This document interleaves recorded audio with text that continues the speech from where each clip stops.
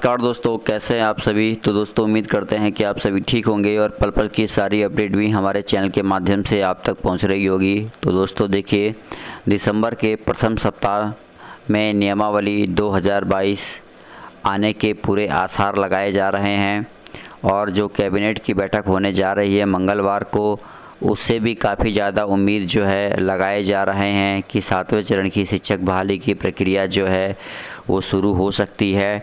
तो स्पष्ट रूप से मैं बता दूँ कि सचिवालय से मिली जानकारी के अनुसार शिक्षक भर्ती 2022 की नियमावली बनकर तैयार है और वह दिसंबर के प्रथम सप्ताह में आ सकती है।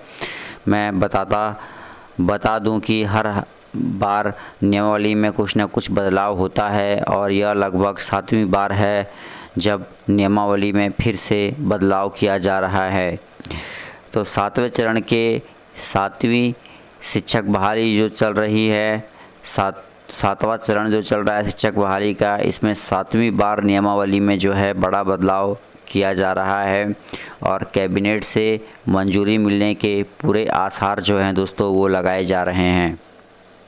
देखिए लिखा है कि सातवां चरण बहाली में सीटेट में मिले अंक में सबसे ज़्यादा वेटेज दिया जा रहा है और एकेडमिक मार्क्स को कम वेटेज दिया जा रहा है।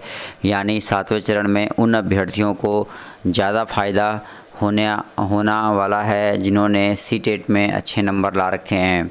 तो देखिए दोस्तों इस पर लिखा है कि जिन अभ्यर्थियों यहाँ पर लिखा है कि आ, एकेडमिक मार्क्स को कम वेटेज दिया जाएगा, यानी कि सातवें चरण में उन अभ्यर्थियों को ज़्यादा फ़ायदा होने वाला है जिन्होंने सी में या बी में अच्छे मार्क्स ला रखे हैं।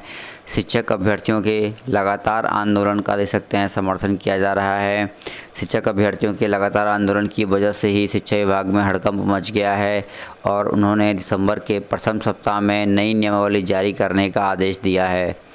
तो देखिए, लिखा है कि शिक्षक अभ्यर्थियों के लगातार आंदोलन की वजह से ही शिक्षा विभाग में हड़कंप मचा हुआ है और उन्होंने दिसंबर के प्रथम सप्ताह में नई नियमावली को जारी करने का आदेश जो है, वो जारी कर दिया है। तो देख सकते हैं, स्पष्ट लिखा गया है कि शिक्षक अभ्यर्थियों का जो लगातार आंदोलन गर्दनी बाग में चल रहा है, वो कहीं ना कहीं अब रंग लाता हुआ नज़र आ रहा है और इस आंदोलन से एक हड़कंप जो है, जो वो मच गया है। बीटेट में अच्छे मार्क्स अगर आपने लाए हैं तो आपको अधिकतर वेटेज जो है वो दिया जाएगा। और मैं आपको बता दूँ कि आपको अब एकेडमिक में कम वेटेज दिया जाएगा, जबकि सीटेट और बीटेट के नंबरों के आधार पर जो है दोस्तों, आपको अधिक वेटेज जो है वो दिया जाएगा। तो देख सकते हैं कि कहीं ना कहीं एक बड़ा आदेश आ गया है। आदेश है, क्योंकि जब तक नियमावली नहीं आएगा, तब तक शिक्षक शिक्षक का विज्ञप्ति भी जारी नहीं हो पाएगा। तो स्पष्ट आदेश आ गया है और लिख दिया गया है कि अभ्यर्थियों का कहना है, यहाँ पे देख सकते हैं, स्पष्ट लिख दिया गया है कि नियमावली नहीं आएगा, तब तक विज्ञप्ति भी जारी नहीं हो पाएगी। तो दिसंबर के प्रथम सप्ताह में नई नियमावली जारी करने का आदेश जो है, वो आ गया है। और अब जल्द से जल्द यहाँ पे दे सकते हैं, नियमावली जारी होगी और सातवें चरण की प्रक्रिया जो है, वो शुरू होगी। तो दे सकते हैं, अगर हम बात करें वेटेज का तो आपको वेटेज के लिए मैं आपको बता दूँ कि अगर आपके बी टेट सी टेट में अच्छे नंबर हैं तो आपको अच्छा वेटेज देखने को मिल सकता है। सिक्सटी रेशियो फोर्टी को आधार मानकर, सिक्सटी रेशियो फोर्टी को देखिए आधार मानकर जो है वो नियमावली आपकी तैयार की जाएगी और इसी नियमावली के आधार पर जो है आपका मेधा अंक भी बनेगा।